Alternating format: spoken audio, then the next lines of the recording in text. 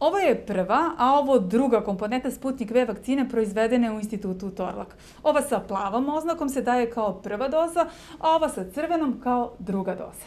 I za komponentu 1, dakle tu dozu koja se daje kao prva vakcina, i za drugu, apsolutno morali da uradimo te takozvane po tri validacione serije. To su takođe propisani zahtevi, strogi, visoki zahtevi farmakopeje, da se svaka od tih vakcina i svaka serija zapravo kontroliše po strogo definisanih 18 parametara.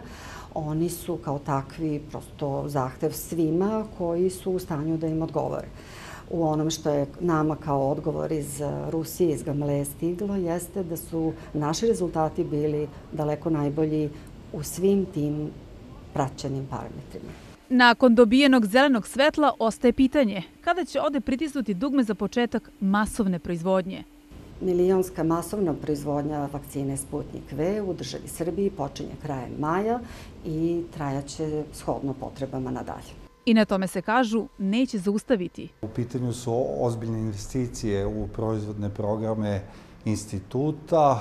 Na taj način institut Torlok Torlak namerava da se zapravo vrati na stare staze slave i da, e, pored zadovoljavanja potrebe domaćeg tržišta, u velikoj meri e, zadovolji potrebe koje postoje na inostranom tržištu. Mi smo u prethodnom periodu uspeli da opstanemo u teškim tržišnim uslovima i zadržali smo celokupan svoj proizvodni asortiman, a za naredne godine očekujemo proširenje.